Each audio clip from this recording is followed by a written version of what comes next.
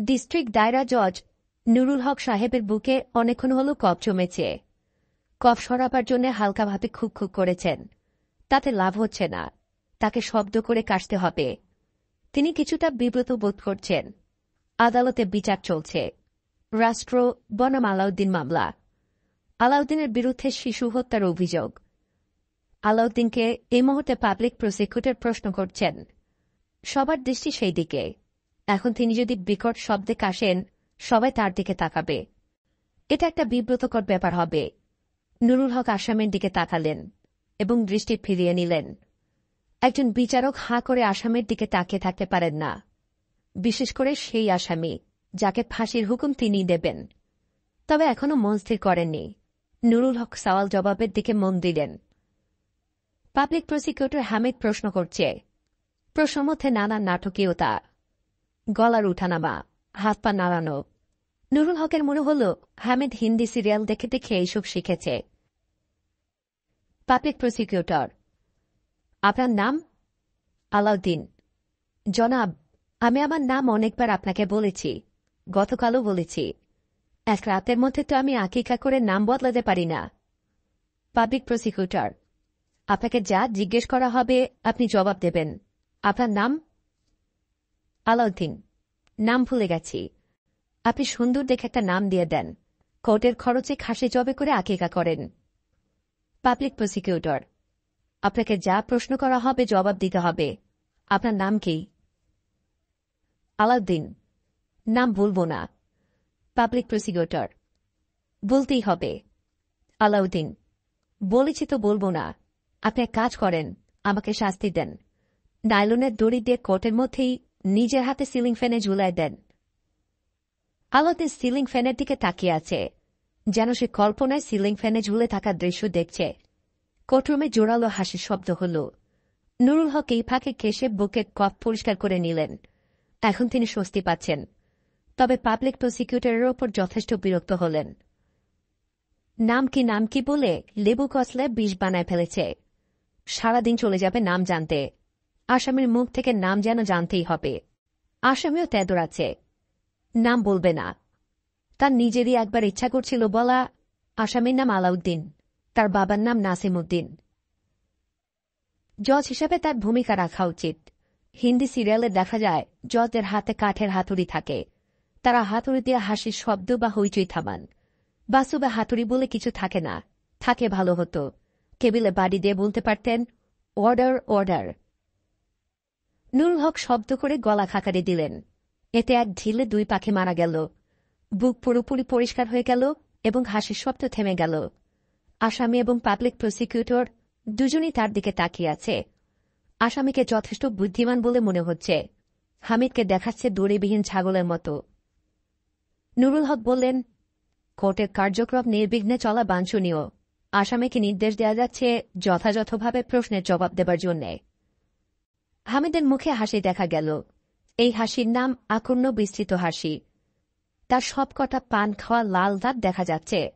নুরুল হক যথেষ্টই বিরক্ত হলেন। দাঁতের বিষয়ে তার সূচি পেয়েও আছে। প্রতিবার খাওয়ার পরে তিনি দাঁত ব্রাশ করেন। তাঁর ধারণা, একজন মানুষের স্বভাব চরিত্রের বড় পরিচয় তার দাঁত। আসামির দাঁতগুলো একবার দেখতে পারলে হতো। তবে তিনি তার আসামিকে বলতে পারেন না। দেখি, দাঁত দেখি। Public prosecutor. আপনার নাম? আসামি, আলাউদ্দিন। পাবলিক প্রসিকিউটর, আপনার পিতার নাম? আসামি, আমার বাবার নাম আমি বলব না, কারণ আমি আসামি, আমার বাবা আসামি না। পাবলিক প্রসিকিউটর, আপনার বাবার নাম বলুন। আসামি ড Abdul Hai, PhD. Public prosecutor, আপনার বাবার নাম নাসিম উদ্দিন তাহলে কেন বললেন ড আব্দুল হাই পিএইচডি? আসামি আপনি আমার বাবার নাম জানেন কিনা তা জানার জন্য করেছি। এখন দেখা যাচ্ছে আপনি জানেন। খামাখা বিরক্ত করছেন। কোর্টরুমে আবার হাসির শব্দ উঠল। এবারের হাসির শব্দ আগের চেয়েও জোরালো। নুরুল হক বিরক্ত মুখে ইশারায় হামিদকে কাছে ডাকলেন। হামিদ গলা নামিয়ে বলল, পথের বাচ্চার অবস্থা দেখছেন স্যার? ঠাট্টা ফাজলামি করছে। নুরুল হকের নাকে ভক করে জর্দার কড়া গন্ধ লাগল। তিনি বললেন আপনি কোর্টরুমে পান জর্দা এসব খান নাকি? না তো, স্যার। আর্গুমেন্ট আসার আগে দেখলাম টিনের কৌটা খুলে পান মুখে দিলেন। নো নেভার নুরুল হকের মনটা খারাপ হয়ে গেল। তিনি মিথ্যা সহ্য করতে পারেন না। অথচ তার কাজই এমন যে বাস করতে হয় মিথ্যার মধ্যে। নুরুল হক বললেন, নাম কি তা দিয়ে তো আপনি সারা দুপুর নষ্ট করছেন। মূলে চলে আসুন। হামিদ বললেন, নাম তো, স্যার, মূলের মূল। আপনি এক সপ্তাহ কাটিয়ে দেবেন নাম জানার জন্যে। আপনি কোর্টে সময় নষ্ট করছেন। স্যার, আসামিকে খেলায় ডাঙ্গায় তুলতে হলে শুরু থেকে ধরতে হয়। আসামি মাছ না, যে তাকে খেলায় ডাঙ্গায় তুলতে হবে। আর আপনিও মাছ শিকারি না। হামিদ চোখ মুখ শক্ত করে বললেন, স্যার, আমার বিষয়ে কি আপনার অনাস্থা আছে? আপনি কি মনে করেন যে আমি কম্পিটেন্ট না? নুরুল হক বললেন, আমি কিছুই মনে করছি না। ঠিক আছে, যান, যা ইচ্ছা করুন। হামিদ এমনভাবে যাচ্ছে যেন যুদ্ধ জয় করে শিবিরে ফিরে যাচ্ছে। ঠোঁটের কোণে তাচ্ছিলের হাসিও আছে। সবই হিন্দি সিরিয়ালের কোর্ট সিন থেকে শেখা। হিন্দি সিরিয়ালগুলি অনেক প্রয়োজনীয় জিনিস শেখাচ্ছে। তিনি নিজেও কিছু কিছু শিখছেন। যেমন একটা সায় শিখলেন, দানে দানে পাল লিখা হে খানেওয়ালা কা নাম। গুল্লি গুল্লি পাল লিখা হে মান্যওয়ালা কা নাম। এর অর্থ, খাবারের প্রতিটি দানায় লেখা আছে যে খাবার খাবে তার নাম। একইভাবে প্রতিটি গুলিতে লেখা আছে, যে মারা যাবে তার নাম। নুরুল হকের বাপ পায়ের বুড়ো আঙ্গুল চুলকাচ্ছে। বুড়ো আঙ্গুল চুলকানোর রোগটা তার নতুন হয়েছে। চুলকানে শুরু হয় ঘুম ভাঙার পরপর। ঘণ্টাখানেক চলে। আবার দুপুরের দিকে শুরু হয়। ফরাসে একটা প্রবচন আছে, পঞ্চাশ বছর পার হবার পর ভোরবেলা শারীরিক কোনো যন্ত্রণা ছাড়া যদি ঘুম ভাঙে, তাহলে বুঝতে হবে তুমি মারা গেছ। তার বয়স তিপ্পান্ন। ভোরবেলা কোন একটা যন্ত্রণা নিয়ে ঘুম ভাঙবে, এটাই স্বাভাবিক। কোর্টে নতুন করে আর্গুমেন্ট শুরু হয়েছে। হামিদ ছাগলটা লাল একজোড়া জুতা নিয়ে লাফালাফি ঝাপাঝাপি করছে। বিরাট অভিনেতা। নুরুল হক তারা অভিনয়ে নজর দিতে পারছেন না। তিনি চেষ্টা করছেন ফরাসি প্রবচন কোথায় শুনেছেন, সেটা মনে করার। আজকাল স্মৃতিশক্তির সমস্যা হচ্ছে, কিছু মনে থাকছে না। সামুদ্রিক মাছের তেল খেলে নাকি স্মৃতিশক্তি বাড়ে। ভিটামিন ওবেগা নামে কি যেন সামুদ্রিক তেলে আছে। প্রবচন নিয়ে চিন্তা না করে অন্য কিছুতে মন দিলে ঝট করে মনে পড়তে পারে। নুরুল হক উকিল কথাবার্তা কি বলছে শোনার চেষ্টা করলেন। পাবলিক প্রসিকিউটর, এই জুতা জোড়া কি আপনার ঘরে পাওয়া গিয়েছিল? আসামি, পুলিশ বলছে পাওয়া গেছে। যখন পাওয়া গেছে তখন আমি ঘরে ছিলাম না। পাবলিক প্রসিকিউটর, বলতে চাচ্ছেন পুলিশ মিথ্যা কথা বলছে? আসামি। পুলিশ মিথ্যা বলবে এটাই স্বাভাবিক না? যে বাচ্চাটিকে আমি খুন করেছি বলে বলা হচ্ছে, তার জুতা আমি ঘরে কেন সাজিয়ে রাখব? আপনি বোকা হতে পারেন, আমি তো বোকা না। বোকা শব্দটা শোনার সঙ্গে সঙ্গে নুরুল হকের মনে পড়ল, এই প্রবচনটা তিনি শুনেছেন এক বোকার কাছে। বোকাটা তার স্ত্রীকে নিয়ে নিয়ব থেকে এসে বর্তমানে তার বাড়িতে আছে। বোকাটা তার একমাত্র মেয়ে জামাই। নাম সুজন। ছেলেটা যে এত বোকা, আগে বুঝতে পারেননি। যতই দিন যাচ্ছে, তার বোকামি ততই ম্যাচুর হচ্ছে। সে একটা ভিজিটিং কার্ড বানিয়েছে। সেখানে নিজের নাম সুজন লিখেছেন এইভাবে। সু এস এইচ ও ই সু, John J O H N John. Europe আমেরিকায় জন মানে বাথরুম। তাহলে তার নামের অর্থ দাঁড়াচ্ছে জুতা বাথরুম। আরও খারাপভাবে বললে, জুতা টাট্টেখানা। বোকাটা সিক্সার সাইজের দুটা ছবি নিয়ে এসেছে। আগ্রহ করে ছবি দেখিয়েছে। ছবি দেখে কিছুক্ষণের জন্য তিনি বিভ্রান্ত হয়ে গেলেন, কারণ একটা ছবিতে প্রেসিডেন্ট বুশ সুজনের গলা জড়িয়ে ধরে আছেন। অন্য ছবিতে প্রেসিডেন্ট কেনেডি আর বিখায়তা সুজনের গালের সঙ্গে গাল লাগিয়ে আছেন। তিনি বিস্মিত হয়ে বললেন, ব্যাপার কি? সুজন বলল, ফটোশপে করে দিয়েছি। হান্ড্রেড পার্সেন্ট রিয়েল মনে হয়। একশো ডলার করে নিয়েছে। দুটা ছবিতে দুশো ডলার চলে গেছে। টেন পার্সেন্ট ডিসকাউন্ট পাওয়া টোটাল একশো আশি ডলার লেগেছে। তিনি বললেন, একশো আশি ডলার খরচ করে এই জিনিস বানানোর মানে কি? ড্রয়িং রুমে সাজিয়ে রাখব, লোকজন দেখবে, অবাক হবে। নুরুল হক কঠিন গলায় বললেন, আমার বাড়িতে এই ছবি টাঙাবে না। না কেন? আমি লোকজনকে অবাক করতে পছন্দ করি না। তুমি নিউ ইয়র্কে একটা মুদির দোকান চালাও। তোমার গালে প্রেসিডেন্ট কেনেডি চুমু খাচ্ছেন। ব্যাপারটা কতটা হাস্যকর সেটা কি তুমি জানো? আমার মেয়ে নাইলা কি করে এটা অ্যালাউ করল তা তো বুঝলাম না। নাইলা ব্যাপারটা খুব স্পোর্টিং এ নিয়েছে। সে নিজেও একটা ছবি তুলেছে টম হ্যাংসের সাথে। টম হ্যাংসটা কে? ফিল্মের হিরো পলিটিক্যাল কেউ না সুপার হিরো সেই ছবি কোথায়? সেই ছবি দেখলে আপনি রাগ করতে পারেন, এই জন্য আপনাকে দেখানো হয়নি। তবে রাগ করার কিছু নাই। পুরোটাই তো ফেক আবা আব্বা কি ছবিটা দেখতে চান? হ্যাঁ যাই। একটা সেকেন্ড, আমি নিয়ে আসছি। ছবি দেখে নুরুল হক হতভম্ব। ছবিতে বোকা বোকা চেহারার এক যুবক নাইলাকে জড়িয়ে ধরে চুমু খাচ্ছে। হঠাৎ নুরুল হকের অস্থির লাগা শুরু হয়েছে। বুড়ো আঙুলের যন্ত্রণাটাও বাড়ছে। তিনি জটিল আর্গুমেন্ট থামিয়ে উঠে দাঁড়াতে দাঁড়াতে বললেন, আদালত আজকের মতো শেষ। তিনি এজলাস ছেড়ে খাস কামরার দিকে এগুচ্ছেন। পেছনে পেছনে আসছে হামিদ। হামিদ বলল স্যার কি কোনো কারণে আমার উপর বিরক্ত? মিথ্যা কথা বলার জন্য সামান্য বিরক্ত। মিথ্যা কথা কখন বললাম? ও আচ্ছা পান খাওয়ার বিষয়টা বলছেন? মনের ভুলে একইলি পান মুখে দিয়েও ফেলতেও পারি। সরি ফর দ্যাট, এরকম আর হবে না। ঠিক আছে। স্যার, আমার আর্গুমেন্ট কেমন দেখলেন? ব্যাটাকে তো শুয়ে ফেলেছিলাম। আর যদি আরেকটু সময় দিতেন, তাকে পুরোপুরি নক আউট করে দিতাম। বদমাইশ। নুরুল হক বললেন আমার পেছনে পেছনে আসবেন না, প্লিজ। নুরুল হক আজ অন্যদিনের চেয়ে সকালে বাড়ি ফিরলেন। বসার ঘরে ঢুকেই মেজাজ খারাপ হয়ে গেল। প্রেসিডেন্ট বুশ এবং মেয়ের জামাইয়ের ছবি বাঁধানো অবস্থায় ঝুলছে। প্রেসিডেন্ট ক্যানেডির ছবিটাও নিশ্চয় আছে, অন্য কোনো ঘরে ঝুলানো হয়েছে। নুরুল হকের ধারণা ভুল না। দ্বিতীয় ছবিটি তাঁরই শোবার ঘরে। নাইলার মায়ের ছবির পাশে সাজানো। জামাই স্পর্ধা দেখে তিনি স্তম্ভিত হলেন। তিন বছর সশ্রম কারাদণ্ডের মতো অপরাধ করেছে বলে তার ধারণা। পেনাঘোর্ডে নতুন নতুন ধারা যুক্ত করার সময় হয়েছে। পৃথিবী বদলাচ্ছে। সময় বদলাচ্ছে। নতুন নতুন অপরাধ তৈরি হচ্ছে। বাবা, কখন এসেছ? নুরুল হক মেয়ের দিকে তাকালেন। মেয়ের মুখ হাসি হাসি। তার গায়ে অ্যাপ্রন। মনে হয় রান্নাবান্নায় ব্যস্ত।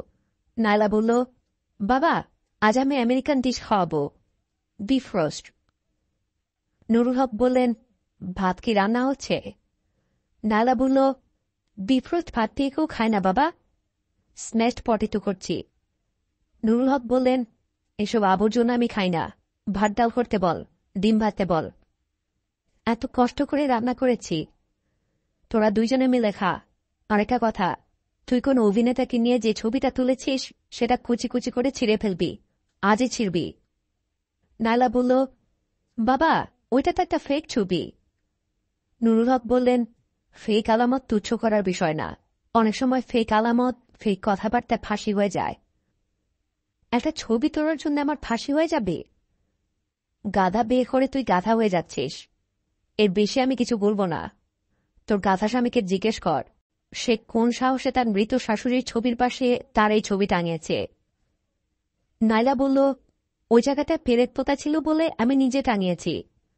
নুরুল হক বললেন তোর পাঁচ বছর সশ্রম কারাদণ্ড এবং দশ হাজার টাকা জরিমানা হওয়া উচিত। অনাদায় আরও দুই বছর কারাদণ্ড। ছবি নামিয়ে এক্ষুনি নর্দমায় ফেল। দুপুরে আলু ভাজি ডাল এবং ভাত খেয়ে নুরুল হক ঘুমোতে গেলেন। ঘুম ভালো হবে না, তিনি জানেন। ফাঁসি হবার সম্ভাবনা আছে। এসব মামলা যখন চলে, তখন তার ঘুম ভালো হয় না। বিকট সব দুঃস্বপ্ন দেখেন। দুঃস্বপ্নে যার ফাঁসি হবার কথা সে সবসময় উপস্থিত থাকে। কদর্য সব অঙ্গভঙ্গি করে। কদাকার চেহারা নিয়ে স্বপ্নে উপস্থিত হয়। স্বপ্নগুলি বেশিরভাগ দেখেন রাত তিনটার দিকে। তারপর তার ঘুম আর হয় না। তিনি জেকে বসে থাকেন। সুরাই ইয়াসিন পাঠ করেন। যদি মন শান্ত হয়।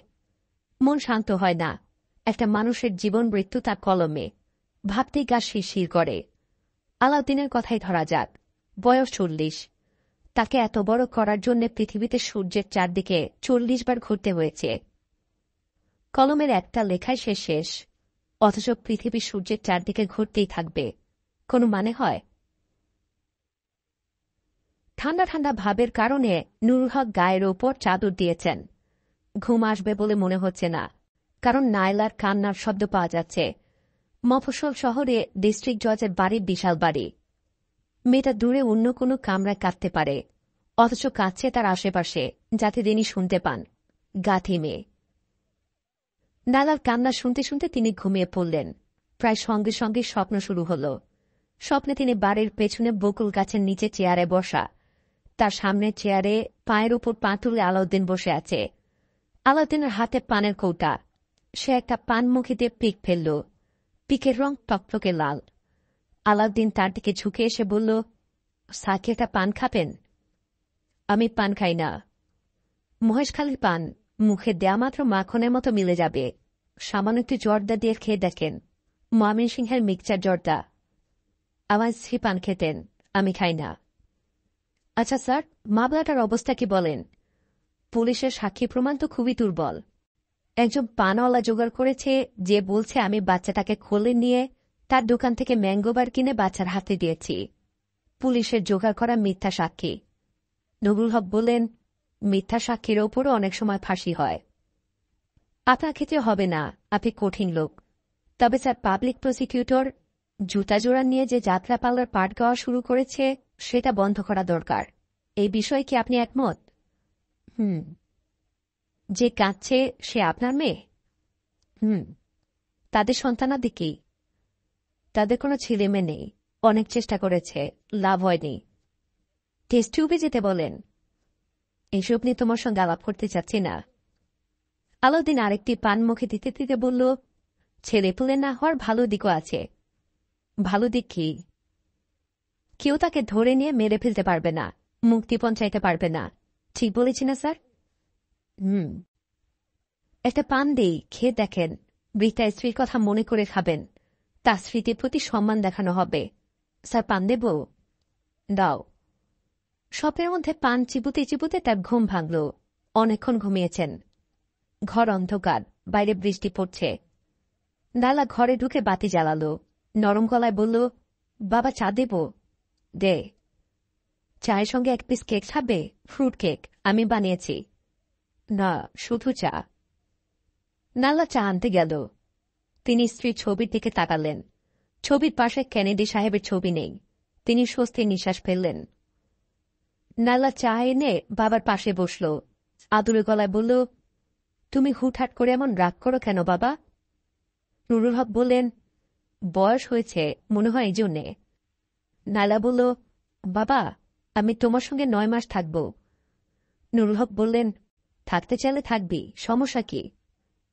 তোমার জামাইও থাকবে সে আমাকে ছাড়া এক ঘন্টাও থাকতে পারে না। এই জন্যে থাকবে। আমি বললাম, তোমার গ্রোসারি শপের কি হবে? সে বলল, গোল্লায় যা গ্রোসারি শপ তুমি যেখানে, আমি সেখানে।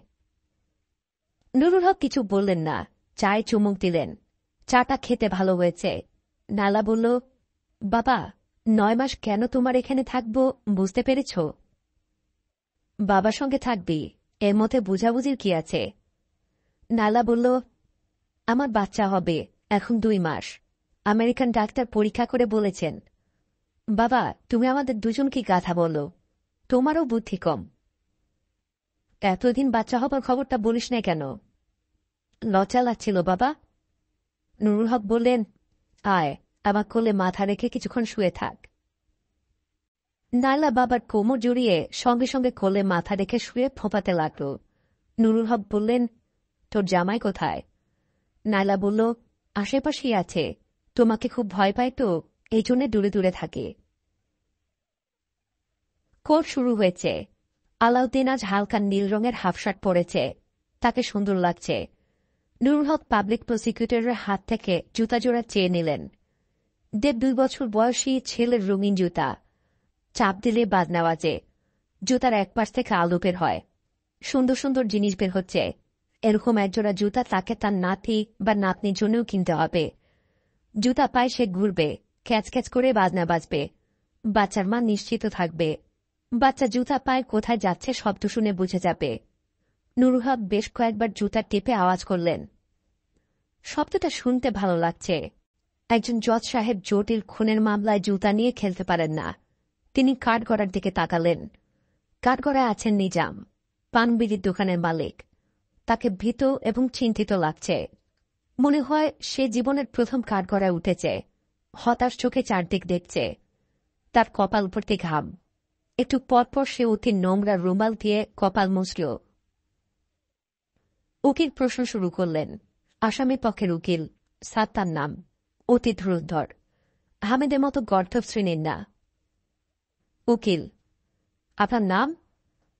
নিজাম। জনাব আমার নাম নিজাম। উকিল, আপনার একটা পানের দোকান আছে? নিজাম, জি। উকিল, আপনি আসামিকে চেনেন? নিজাম, জি। উনি আমার দোকান থেকে একটা ম্যাঙ্গোবার কিনে বাচ্চাটাকে দিয়েছেন। উকিল, আপনার দোকানে তো বহু লোক আসা যাওয়া করে। আসামের কথা মনে রেখেছেন কীভাবে? উনি কি প্রায় আপনার দোকান থেকে সিগারেট, পান, বিড়ি এসব কিনতেন? নিজাম জি, স্যার। উকিল, একটা ছোট্ট সমস্যা হল, আসামি পানও খায় না, সে কেন রোজ আপনার দোকান থেকে পান সিগারেট কিনবে? নিজাম হতাশ চোখে তাকাল, ঢোক গিরল উকিল, ওই প্রসঙ্গ থাক, জুতা জোড়ার দিকে তাকান। জুতা জোড়া চেনেন? নিজাম, জি, স্যার, বাচ্চাটা পায়ে ছিল উকিল, একটা বাচ্চা কাঁদছে, তাকে আপনি ম্যাঙ্গোবার দিলেন। আপনার তো বাচ্চাটার দিকে তাকিয়ে থাকার কথা। আপনি জুতার দিকে তাকিয়েছিলেন কেন? নিজাম, স্যার, জুতার ক্যাশ ক্যাশ শব্দ হয়েছে। এই জন্যই জুতার দিকে তাকিয়েছি। উকিল, আপনি জবানবন্দিতে বলেছেন আসামি বাচ্চাটা কোলে নিয়ে আপনার দোকানে এসেছে। বাচ্চা কোলে থাকলে তো জুতার ক্যাচ ক্যাচ শব্দ হবে না। ঠিক কিনা বলুন? নিজাম, জি স্যার, ঠিক। উকিল, মিথ্যা সাক্ষী দিচ্ছেন কেন? নিজাম মিথ্যা না, স্যার। সত্যি। উকিল, আপনাকে আমার জিজ্ঞেস করার কিছু নেই। আপনি কারগড়া থেকে নেমে যেতে পারেন। কারগড়া থেকে নামতে গিয়ে নিজাম হুম রেখে পড়ে গেল। উকিল বললেন, মাননীয় আদালতকে একটা বিষয় জানাতে চাচ্ছি নিজাম নামের এই লোক পুলিশের সোর্সের একজন। পুলিশের মামলায় সে প্রায় সাক্ষ্য দেয়। এর আগে তিনবার সে ছিনতাই মামলা সাক্ষ্য দিয়েছে। প্রতিবারই সে ছিনতাই হতে দেখেছে। কিংবা ছিনতাইকারী তার দোকান থেকে বিড়ি সিগারেট কিনেছে। নুরুল হক কোর্টের কার্যক্রম শেষ করে উঠে দাঁড়ালেন। আজ বৃষ্টি হচ্ছে। ভালো বৃষ্টি। ইচ্ছা করছে একটা রিক্সা নিয়ে ভিজতে ভিজতে বাড়ি ফিরতে। তা সম্ভব না। তাকে গাড়ি নিয়ে ফিরতে হবে। দুপুরে মেয়ে মেয়ে জামাইকে নিয়ে খেতে বসেছেন। বাবুর্চি সালাম রান্না করেছে। সজনে ডাটা দিয়ে পাবদা মাছ। পাবদা মাছের সঙ্গে সজনে যায় না। তারপরেও খেতে ভালো হয়েছে। তার মেজাজ এখন বেশ খারাপ, কারণ মেজামায় মুরাদ কাঁটা চামচ দিয়ে পাবদা মাছ খাচ্ছে। মুরাদ বলল আম্বা আপনার মামলার কথা সালামের কাছ থেকে শুনেছি। ফাঁসি কি হবে? নুরুল হক বললেন, এখনও তো মামলা শেষ হয় নাই। মুরাদ বলল, বছরের পর বছর মামলা না চালিয়ে লটারিতে চলে যাওয়া দরকার, সময় বাঁচে। নুরুল হক বললেন, লটারি মানে?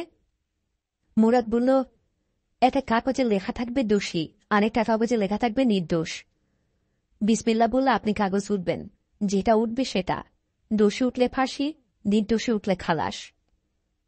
নুরুল হক বললেন, আমি খাবার টেবিলে কথাবার্তা পছন্দ করি না, নিঃশব্দে খাও। মুরাদ বলল, খাওয়ার টেবিলে আলাপ আলোচনা হজমের সহায়ক।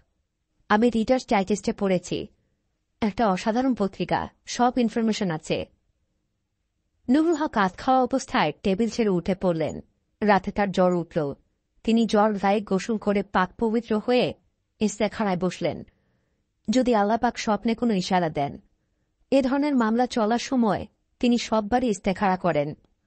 কোনো লাভ হয় না। ইস্তেখারায় প্রশ্নের উত্তর প্রতীকের মাধ্যমে আসে। প্রতীক থেকে অর্থ উদ্ধার সহজ কর্ম না। বড় বড় আলেম ছাড়া কেউ পারে না। ইস্তেখারায় স্বপ্নে দেখলেন দুটা দাঁড় কাক একজন আরেকজনকে ঠুকরে মাংস ছিঁড়ে নিচ্ছে। কাল টুটি কাথা করছে। ছোট বাচ্চাদের মতো কাঁদছে। ভয়ঙ্কর দুঃস্বপ্ন। বাকি রাত তিনি জেগে কাটালেন। তদন্তকারী পুলিশ ইন্সপেক্টর কাঠগড়ায় দাঁড়িয়েছেন। মামলার বিষয়ে গুরুত্বপূর্ণ সাক্ষ্য দেবেন। পুলিশ ইন্সপেক্টর, আসামি ছেলেটার বাবা মার কাছ থেকে মুক্তিপণ হিসেবে বিশ লক্ষ টাকা চেয়েছিল। ছেলেটার বাবা দশ লক্ষ টাকা জোগাড় করে পাঠান।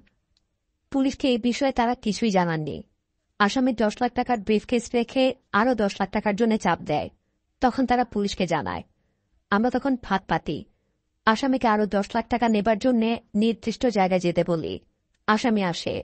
আমরা তাকে গ্রেফতার করি। আমরা তার মোবাইল সেট জব্দ করি। মোবাইল থেকে যে টেলিফোন করে টাকা চাওয়া হয়েছে, তা ফোনের রেকর্ড থেকে নিশ্চিত হই। বাড়ি তল্লাশি করে জুতা জোড়া পাই। এই হল ঘটনা। উকিল এটা যে আসামিরই মোবাইল, তার কোনো প্রমাণও নেই। মোবাইল সেটি নতুন এবং তার সিম কার্ড ফাঁকা। ইন্সপেক্টর, ফাঁকা বলবেন না। এই সিম কার্ডে বাচ্চার বাবা আমাকে টাকা চেয়ে টেলিফোন করা হয়েছে। উকিল, বাচ্চাটির ডেড বডি আপনারা কোথায় খুঁজে পান? ইন্সপেক্টর, আশুলিয়ায় একটা বস্তার ভেতর ভরে পানিতে ডুবিয়ে রাখা হয়েছিল। উকিল, ডেড বডির সন্ধান কি করে পেলেন? আসামি বলেছে। ইন্সপেক্টর, না ডেড বডি ভেসে উঠেছিল। স্থানীয় লোকজন পুলিশে খবর দেয়। উকিল বাচ্চাটির মৃতদেহের ছবি কয়েকটা দৈনিক পত্রিকায় প্রকাশিত হয়েছিল। এই বিষয়ে জানেন? ইন্সপেক্টর, জানি। উকিল, ছবিগুলোতে বাচ্চার দুই পায়ে জুতা ছিল। আমি আদালতে ছবি জমা দিচ্ছি। এখন কথা হল, আসামির ঘরে দুটা জুতা কীভাবে এলো? পুলিশ ইন্সপেক্টর থতমতো খেয়ে গেলেন। উকিল মাননীয় আদালত, এটা একটা দুর্বলভাবে সাজানো মামলা। বিষয়টি দিবালকের মতো স্পষ্ট হবার কথা। নভেম্বর মাস, এর মধ্যে আলাউদ্দিন বেকুসুর খালাস পেয়েছে। নুরুল হক সাহেব যতক্ষণ বাসায় থাকেন, নাতিকে কোলে রাখেন। নাইলা দূর থেকে লক্ষ্য করেছে, তার বাবা এক মাস বয়সী নাতির সঙ্গে বিড়বিড় করে মামলা মকদ্দমা গল্প করেন। জীবনের সবচেয়ে আনন্দের ঘটনা কি জানো দাদু? যখন ফাঁসি হতে যাচ্ছে, এমন একজন লোক নির্দোষ প্রমাণিত হয়। খালাস পেয়ে বাড়িতে চলে যায়। আমার জীবনে কয়েকবার এরকম ঘটনা ঘটেছে। বড় হও, বড় হলে শুনবে। এখন দাদু একটু হাসো তো। এক শুক্রবার সকালে নুরুল হকের সঙ্গে দেখা করতে এলো আলাউদ্দিন। হাতে মিষ্টির প্যাকেট, সঙ্গে একটা বড় কাতর মাছ। জীবন্ত, কান কোন উঠছে স্যার, আমাকে চিনেছেন? আমি আলাউদ্দিন। চিনেছি। স্যারের নাতি হয়েছে শুনেছি। অতি আনন্দের সংবাদ। নাম কি রেখেছেন রূপম। বাহ, নামও মাসাল্লাহ সুন্দর। মিষ্টি মাছ এইসব আমি রাখব না। কিছু মনে করো না। আপনি রাখবেন না জানি, তারপরেও নিয়ে এসেছিলাম। চিন্তা করবে না স্যার, ফেরত নিয়ে যাব। তুমি আজকাল কি করছ? আলাউদ্দিন গলা নামিয়ে বলল, রেস্টে আছি। দশ লাখ টাকা লুকানো ছিল। এইটাই খরচ করতেছি। নুরুল হক হতভম্ব হয়ে তাকালেন। আলাউদ্দিন বলল, নতুন একজোড়া জুতা আমি রেখে দিয়েছিলাম। পুলিশ যখন আলামত হিসেবে জুতা জব্দ করেছে, তখনই বুঝেছি ভাবলা টিসমিস হা হা হা। খুন আমি করেছি। আপনার মতো ঝানু লোক ধোকা খেয়েছেন। এইটাই আনন্দের।